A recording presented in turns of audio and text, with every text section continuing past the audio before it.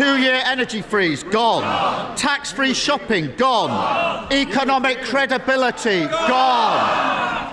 And her supposed best friend, the former Chancellor, he's gone as well. They're all gone. So why is she still here?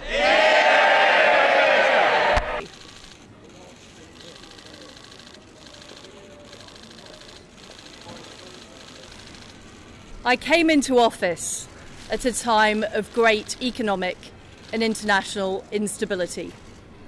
Families and businesses were worried about how to pay their bills.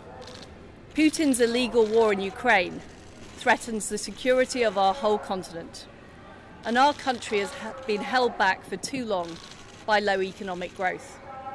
I was elected by the Conservative Party with a mandate to change this. We delivered on energy bills and on cutting national insurance. And we set out a vision for a low tax, high growth economy that would take advantage of the freedoms of Brexit. I recognise, though, given the situation, I cannot deliver the mandate on which I was elected by the Conservative Party. I have therefore spoken to His Majesty the King to notify him that I am resigning as leader of the Conservative Party. This morning I met the chairman of the 1922 committee, Sir Graham Brady.